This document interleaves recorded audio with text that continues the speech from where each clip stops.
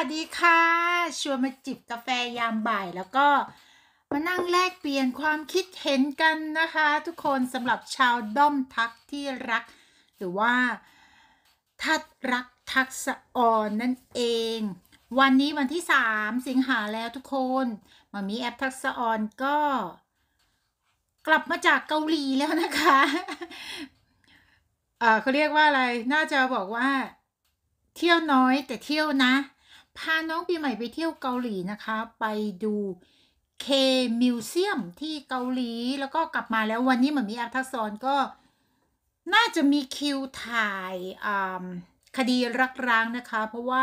เห็นทีมงานพี่สันเนี่ยเอ่อโพสต์ story เป็นบ้านก็คือเป็นฉากแบบบ้านบัวบงกฎนะคะทุกคน เดี๋ยว อืม แอปไม่แน่ใจว่าแบบนี้เนี่ยให้คิวเป็นพฤหัสสุกเออใช่คิวน่าจะอยู่ที่พฤหัสสุกนะคะสำหรับคดีรักร้าง เดี๋ยวถ้าเบื้องหลังมีอะไรมาแอดก็จะเอามาแชร์กันนะคะ ทุกคนส่วนแคนทุกคนยังดูอยู่มะ มีใครดูบ้าง แอดต้องบอกว่ามาถึง EP นี้แล้ว ดูบ้างไม่ดูบ้างทุกคนเอาจริงๆแล้วก็คือมันฝืนดูไม่ได้อะต่อให้ชอบมันมีแอป ขนาดไหนแอดก็ฝืนดูไม่ได้แอดไม่ชอบ ไม่ชอบละครแนวนี้ แล้วก็ดูไปดูมาก็ หลาย ๆ สิ่งหลาย ๆ อย่างก็งงๆค่ะ บทแต่ละบทก็งงๆบทพิธานก็งงๆโดยส่วนตัวนะงงแบบไหนงงคือแบบ เออ ทุกคนลุมรักเหมือนแพรหมดเลยอะ่ะเออ ดูแปลกๆดูงงๆก็โอเคค่ะ ไม่มันเครียดอะทุกคนก็เลยไม่ดู สำหรับคลิปนี้นะคะ จิบกาแฟยามบ่ายก็มานั่งคุยเหมือนเดิม เกี่ยวกับมามีแอปนี่แหละ เพราะว่าช่วงนี้มันไม่ได้มีความเคลื่อนไหวอะไรเนาะมันก็มีแค่เรื่องเดียวมันมีแอปทักษรไปเที่ยวเกาหลี คนนะคะ แทนคนอะ โฟกัสหมอมีลงรูปป้าโฟกัสไปอยู่ตรงนี้นะคะ ไปอยู่ที่เสื้อเอวลอยของหมอมีว่า เดี๋ยวนี้เนี่ยแต่งตัวเกาหลีเกาใจมาก หรือว่าเป็นเพราะว่า หัวใจมันเป็นสีชมพู แล้วคนที่คุยด้วยเป็นหนุ่มรุ่นน้องหรือเปล่า การแต่งตัวก็เลยดูจะบอกว่าเกาหลีเกาใจดูแบบว่าเด็กลงเยอะเลยใดๆคือไม่ว่าอายุหมามีแอปจะเท่าไหร่นะคะ แต่หน้าตารูปร่างทุกอย่าง ก็เหมือนสาววัยรุ่นอยู่เพราะฉะนั้นหมามีแอปทักษรจะแต่งชุดยังไงก็สวยสมวัยค่ะทุกคนเออเรื่องการแต่งตัวนะบางทีแอดก็ไปเห็นคอมเมนต์บางคอมเมนต์นะก็แบบเหมือนประมาณแบบว่าเหมือนมีแอปอะแต่งตัวไม่สมวัยแกแล้วทำไมแต่งตัวแบบนี้ทุกคนแอดไม่รู้ว่าอะไรคือการต้องแต่งตัวตามวัยอะงงมาก เพราะว่าที่เมืองไทยจะเห็นว่า การแต่งตัวของคนไทยเหมือนแบบ พอฉันอายุประมาณเนี้ย ฉันต้องแต่งแบบนี้เลยฉันต้อง ฉันอายุสี่สิบเนี่ย ฉันจะต้องแต่งเสื้อแบบว่า ลายอ่าไม่ใช่ลายเสื้อลูกไม้คอกระเช้าหรืออะไรคือแบบตอบไม่ถูกอะ่ะ เชื่อไหมว่าที่เมืองนอกนะ ที่สวิตเซอร์แลนด์ที่แอดอยู่อะทุกคน ผมงอกอายุเก้าสิบยังใส่เดรส ยังแต่งตัวเป็นวัยรุ่น ยังใส่รองเท้าผ้าใบใส่เดรสคือการแต่งตัวของคนที่สวิตเซอร์แลนด์ไม่จำกัดว่าคุณอายุเท่านี้ คุณห้ามใส่นี้ คุณจะใส่อะไรก็ใส่คือแบบ แฟชั่นที่สวิตเซอร์แลนด์อะไม่ว่าจะเป็น ZARA หรือแบรนด์ต่างๆอะทุกคน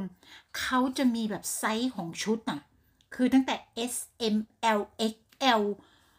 คือเราสามารถที่จะยืนเลือกชุดเดรสลายดอกสวยๆข้างๆกับคุณยายอายุ 80 ได้เลย สามารถใส่ชุดเหมือนกันได้เลย ที่นี่ไม่มีคำว่า อายุแบบนี้ห้ามแต่งแบบนี้นะ ทุกคนคือมันแบบแฟชั่นมันโอเพนมาก โอเค เมื่อวานไปตั้งสี่นาทีแล้วไม่ได้เรื่องเลย วันนี้นะทุกคนที่ทำคลิปก็ เมื่อวานเนี้ยแอดก็ทำคลิปเกี่ยวกับนนไปนะคะ เพราะว่านนเนี่ยไม่ค่อยจะให้สัมภาษณ์อะไรเลย เพิ่งจะนี่แหละมีสัมภาษณ์เนาะสำหรับหอมกลิ่นความรักโปรโมทละครโปรโมทซีรีส์ก็มีพูดถึงเหมือนมีแอปทักษร แอดก็เลยทำคลิปแล้วก็ขอความเห็นจากเพื่อนๆนะคะ ที่เป็นแฟนคลับ FC ของนน์เพราะว่าเมื่อวานเนี่ยเราดูคลิปนะสำหรับคนที่ไม่เป็นแฟนคลับ FC ของนน์ไม่รู้บุคลิกไม่ได้อ่านภาษากายของนน์ออกเนี่ยย่อมที่จะมีความคิดคิดคล้ายๆแอสคือ เอ๊ะทำไมนน์ดูไม่เขินเลย อะไรหรือเปล่าอะไรอย่างนี้ใช่ไหมคะ มันมีความเป็นไปได้หมดเพราะว่าบ้านหลังนี้บ้านของแอดนะคะ เป็นบ้านด้อมแอปทักษออนเพราะฉะนั้น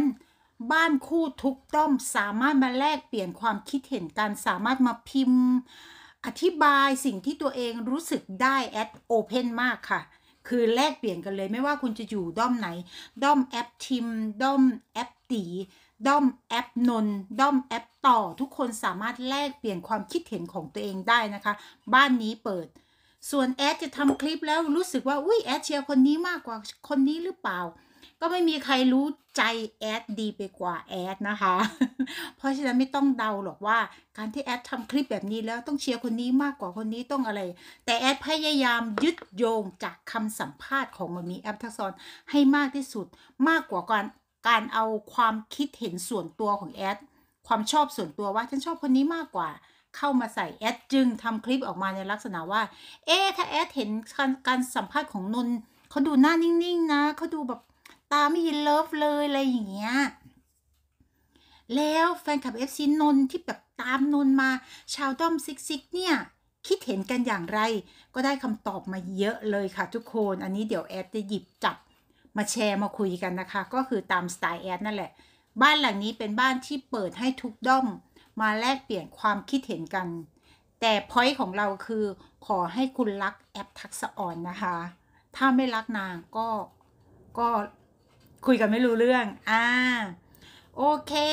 มาก่อน หลายคนอาจจะถามแอดว่า แล้วจะให้นนท์น่ะทำหน้าตายังไง คุณถึงจะมองว่า อันนี้คือเขา fall in love คือ เอาเป็นว่าคนหลาย ๆ คนเนาะมันก็จะมีบุคลิกต่างกันบางคนเขาอาจจะเก็บความรู้สึก บางคนเขินแล้วก็จะกำนิ้วมือไม้แบบ ไม่รู้จะวางไปตรงไหนเวลาไปอยู่ใกล้ ๆ คนที่เราปลื้มคำว่าคนที่เราปลื้มไม่ใช่ ไม่ใช่ว่าเราจะเป็นรักเขาจะเอาเขามาเป็นแฟนอย่างเดียวนะคะ ทุกคน แต่แบบคนนี้ฉันปลื้มจะปลื้มด้วยอะไร ก็ไม่รู้แหละแต่ฉันปลื้มอะฉันเขินเขานะ่ะเวลาฉันอยู่ใกล้น่ะ มันจะออกอาการกัน คนที่ออกอาการชัดมากและทุกครั้งที่อยู่ใกล้พี่แอป แล้วคุณจะเห็นเลยว่าเขาเขินแบบชัดมาก เพราะว่าสายตาของเขาไม่สามารถที่จะปกปิดได้เลยก็คือ คนนี้ต่อธนภพทุกคนจะเห็นเลยว่า ตั้งแต่ทั้งคู่นะคะ มีผลงานร่วมกันมาขอเกิดใหม่ใกล้ๆเธอ ทุกครั้งที่สัมภาษณ์คู่กัน ทุกครั้งที่นักข่าวจอไม่สัมธนภพ ถึงพี่แอป ทุกคนจะเห็นความเขิน ความแบบว่าม้วนต้วน เห็นชัดที่สุดก็เนี่ยงานเดินแบบใช่ไหมตอนนั้นนะทุกคนจะเห็นว่าธนภพแบบเขาเขินมาก นี่คือสายตาที่แอดหมายถึงว่าแอดยังไม่ได้เห็นจากนนคือคือพอเอ่ยชื่อแอปมาเขินเลยให้อีกหนึ่งคน ก็ต้องยอมรับว่าน้องเขาก็ชัดเจนมากตี จะเห็นว่าตีเนี่ย พอนักข่าวจ่อซ้ำหรือให้พูดถึงพี่แอปปั๊บ ตามันจะเป็นประกาย มันจะเป็นบิงบิงมันจะตามันจะไอไออะ ทุกคนแอก็ไม่รู้จะว่ายังไง ส่วนคุณทิมชัดเจนมากในโหนกระแส จะเห็นเลยว่าเขาเนี่ยคือหนุ่มๆที่แอดพูดมาทุกคนแอดมั่นใจว่าเขาปลื้มเหมือนมีแอปทักษรทุกคนแต่จะปลื้มอยู่ใน stage ไหนค่อยว่ากันอีกที ถูกไหมคะคือเหมือนแอดน่ะ ให้แอดไปเจอแอฟทักษรแอฟทักษรยืนอยู่ตรงหน้าน่ะแอดก็เขินเชื่อไหม คือเราปลื้มอะมันเขินอะ ทุกคน เพียงแต่ว่าเมื่อวานเนี้ยเราก็อาจจะแอบผิดหวังที่นักข่าวนะ ไม่ได้แบบว่า เจาะถามไปเลยว่า เฮ้ยน้องนนนท์บอกสถานะกับพี่แอฟซิเป็นคนคุยกันหรือยังไง หรือเป็นแค่พี่แค่น้อง ทีนี้ก็มีเพื่อนๆในในช่องนี้แอบของแอดเมื่อวานนะคะ คอมเมนต์แบบ คอมเมนต์น่ารักมาก แอดขออนุญาตหยิบนะหยิบมาอ่านให้เพื่อนๆฟังนะคะ ไม่รู้ว่าเพื่อนๆที่ไม่ได้เป็น FC ของนนท์ได้อ่านเมนต์นี้ไหมแอดชอบเมนต์นี้ของคุณแฟรี่นะคะแฟรี่เลิฟคุณแฟรี่บอกว่าเมื่อวานนี้ นนกุลค่อนข้างมีอาการวิตก วิตกกังวลนะคะ ก่อนสัมภาษณ์เรื่องพี่แอฟซึ่งแตกต่างจากตอนให้สัมภาษณ์เรื่องงาน พร้อมเพื่อนนักแสดง ตอนนั้นคือตัวนนกุลสุดละค่ะคือเป็นตัวของตัวเองนะคะ ตอบคำถามได้ธรรมชาติชัดเจนลื่นไหล ไม่มีติดขัด แต่พอถึงช่วงสัมภาษณ์ข่าวเกี่ยวกับพี่แอปซึ่งมีการแยกสัมภาษณ์ต่างต่างหากนะคะ ทางผู้จัดขอความร่วมมือในการงดไลฟ์สดอาอาการของนนก็เห็นได้ชัดว่ามีความเครียด และดูกังวลระดับหนึ่งที่ฟังจากแฟนคลับ ในงานซึ่งไม่ใช่เป็นปกติของนนกุล เข้าใจว่ามีการบรีฟเรื่องคำถามคำตอบระหว่างนนกับนักข่าว เมื่อนักข่าวเหมือนนักข่าวก็จะช่วยนนประมาณหนึ่ง โดยที่ไม่ใช้คำถามเจาะลึก เลยทำให้นนตอบแบบกว้างๆ เหมือนไม่มีอะไรด้วยท่าทางน้ำเสียงพยายามเก็บอาการให้ปกติ คนไม่เชียร์ก็มองว่าไม่มีอะไรเลย แต่คนที่เชียร์ก็สามารถคิดได้ว่าความสัมพันธ์ทั้งสองมีความพิเศษจากการเล่าถึงเหตุการณ์กิจกรรมต่างๆ ที่มีกับพี่แอป พูดตามความเป็นจริงไม่โกหก ซึ่งการเลี่ยงตอบในบางประเด็นด้วยความที่ปกติ นนท์เป็นคนตอบคำถามตรงไปตรงมาตลอด เลย ถ้าตอบเรื่องงานอะปกตินนท์จะเป็นคนที่ตอบคำถาม ตรงไปตรงมานะคะ ถ้าเป็นเรื่องงาน พอต้องตอบเรื่องส่วนตัวก็ต้องพาดพิงถึงคนอื่น อาจจะทำให้มีความอึกอักบ้าง ถ้าดูคลิปสัมภาษณ์ เต็มๆจะเห็นได้ชัด สิ่งที่รู้สึกได้จากการฟังสัมภาษณ์ก็คือคำตอบที่พยายาม save พี่แอฟคงต้องรอต่อไปว่าสถานะจะชัดกว่านี้ไหม พี่แอฟหลังๆ ไปอีเวนต์ก็เหมือนจะเลี่ยงในการให้สัมภาษณ์เหมือนกัน ต้องรอวันที่ 5 นี้ จะมีอีเวนต์อีกว่าจะมีการให้สัมภาษณ์ไหม ขอบคุณมากเลยนะคะที่มาแบบว่า คอมเมนต์แล้วก็บอกเล่าว่านนท์เขาจะมีบุคลิกยังไง เพราะว่าคนที่ไม่เป็นแฟนคลับ FC นนท์เขาย่อมอ่านบุคลิกนนท์ไม่ออก เพราะว่าถ้าคนที่เก็บอาการออกใช่ไหม ถ้าอย่างต่อธนภพอย่างทิมพิธาอย่างน้องตีอย่างเงี้ย พอสัมภาษณ์ปั๊บ พอให้พูดถึงแอปปั๊บตาเขาจะบริ้งมาเลยแบบยิ้มกว้าง เขินเลย เพราะฉะนั้นเนี่ยมันก็เป็นเรื่องราวดีๆนะคะ ที่เราจะมาแชร์กันที่เราจะมาคอมเมนต์บอกเล่ากันว่า เฮ้ยนนท์เขาเก็บอาการอยู่นะ แต่ใดๆคือเหมือนที่แอดบอกแหละทุกคน ตราบใดที่แอปทักษะออนยังไม่เอ่ยชื่อบุคคลคนนั้นมาว่า ตอนนี้สถานะคนคุยชื่อนี้นะคะ ด้อมทุกบ้านย่อมสามารถที่จะเชียร์หมอมีกับคนที่ตัวที่ตัวเองเชียร์นะคะ เพราะว่ามันเป็นความสุขเหมือนที่ที่มามี้ก็พูดไว้แหละว่า จิ้นได้ถ้าเป็นความสุขนะคะ แต่แอดเชื่อว่าเหมือนตอนนี้หมอกมันจะคลุมเครือ หมอกมันจะจางๆ ใช่ไหม ถ้ามามี้แอฟทักษอรออกมาเปิดว่า ทุกคน แอฟมีคนคุยแล้วนะ ตอนนี้กำลังศึกษาดูใจดูใจกับหนุ่มคนนี้อยู่แต่ยังไม่ได้บอกว่าเป็นใคร แอดเชื่อว่าหนุ่มๆทุกคนที่อยู่ใน stage แบบ เป็นคู่จิ้นนะคู่จิ้นนอกจอ ไม่ใช่คู่จิ้นในจอเนี่ย เขาก็จะย่อมรู้ตัวเองว่า เฮ้ยมันไม่ใช่ฉันนี่ เขามีคนคุยแล้วว่าด้วยมารยาททางสังคมอะมันก็จะต้องลดการพูดถึงในเชิงจีบถูกปะ เดี๋ยวหมอกมันก็กระจายออกไป เราน่าจะเห็นชัดแล้ว อย่างล่าสุดเนี่ย เห็นไหมมันมีแอปทักษรพาน้องปีใหม่ไปเที่ยวนนก็มาคอมเมนต์เลย เนี่ย มันก็จะลักษณะแบบนี้แอดว่า เดี๋ยวหมอกมันจะค่อยๆ จางออกไปแล้วเราก็จะเห็นเองนะคะทุกคนน่ารักมากขอบคุณเพื่อนๆอของ FC ของนนท์แล้วก็มีอีกอีกคอมเมนต์หนึ่งนะ เดี๋ยวแอดหาแป๊บหนึ่งก่อน เป็นคอมเมนต์ของคุณคิดไหมหรือเปล่าคะคิดไหมโอ้ยอ่านไม่ออกคุณคิดแล้วกันนะคะ เขียนว่าจากที่เราติดตามนนท์มาและอยู่ในกลุ่มด้อมซิกซิกหนึ่งนนท์เป็นคนมั่นใจในตัวเองเวลาสัมตอบ ฉะฉานทุกครั้งนะคะสองเป็นคนเก็บอาการเก่ง แต่โกหกไม่เก่งเหมือนมามี้แอฟทักษอรนะคะ คนนี้โกหกไม่เก่งแต่เขาจะมีวิธีตอบแบบว่าเลี่ยงๆนะคะสามนนท์ไม่ชอบเสิร์ฟจิ้น นนท์เคยบอกว่าไม่ใช่สายนั้น น่าจะเป็นลักษณะของเด็กนาดาวไหมอย่างต่อธนภพเองอะ่ะก็เล่นละครมาเล่นอะไรมาก็แทบจะไม่เสิร์ฟจิ้นเลยนะมันมีกับมามีแอปทักษรนี่แหละที่แบบที่มีแบบจิ้นแบบยาวอะ่ะทุกคน จากสัมเมื่อวานรู้สึกได้ว่านนเกรง และแบบตะกุกตะกัก แบบดูระมัดระวัง คิดก่อนพูดตลอดคงจะเซฟพี่แอฟมาก ๆ แถมสัมเมื่อวานคุณพ่อของนนท์ก็มายืนอยู่ข้างๆด้วย แต่ก็นั่นแหละ หลังจากสัมไม่นานก็ไปเซลฟี่แอปในไอจีต่อยังไงก็แล้วแต่มุมมองนะคะ ขอให้วิจารณ์แบบเซฟนนท์ด้วยนะ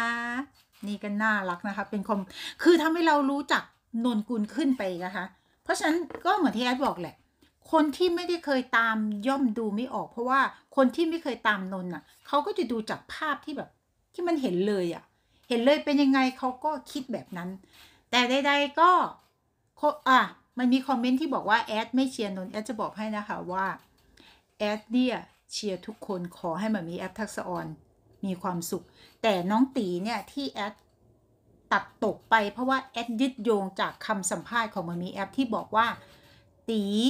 ไม่ได้มีเอ่อไม่ไม่ไม่ได้มีอะไรนอกรอบกัน ส่วนคนที่บางครั้งอะไปคอมเมนต์หรือพยายามที่จะด้อยค่าตีอะขอร้องนะคะ น้องตีเนี่ยบางคนที่ไม่ได้เป็นแฟนคลับตีคุณอาจจะไม่รู้เลยว่าทำไมอยู่ดีๆน้องมาเปิดตัวว่าแบบ เฮ้ย ผมชอบพี่แอฟผมอ่ารักพี่แอฟอย่างบริสุทธิ์ บางคนก็ไปบอกว่า น้องอะเกาะกระแสไม่เลิกไม่แล้วแอดไม่ใช่ว่าแอดไม่เห็นนะแอดเห็นนะแอดจะบอกว่าตีเนี่ยเขาเคยเล่นละครนะคะรอยไหมกับมามีแอฟทักษรเขาณตอนนั้นน่ะเป็นแค่นักแสดงสมทบนะคะ แล้วตอนนั้นตีอายุแค่ประมาณ 16 ปี ถ้าแอดจำไม่ได้ในรอยไหมอะแล้วเขาอะคุณคิดดูว่าหนุ่มอายุ 16อะ เห็นพี่สาวคนสวยที่เล่นเป็นนางเอกที่ชื่อแอปทักษรน่ะเขาก็ปลื้มของเขามาตั้งแต่ตอนนั้นน่ะ มาจนถึงปัจจุบันนี้เขาก็มีผลงานอยู่กับช่องสาม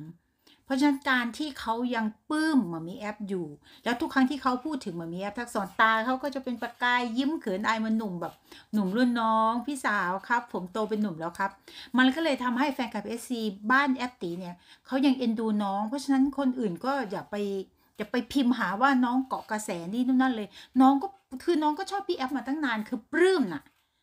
ปลื้มอะทุกคนส่วนนน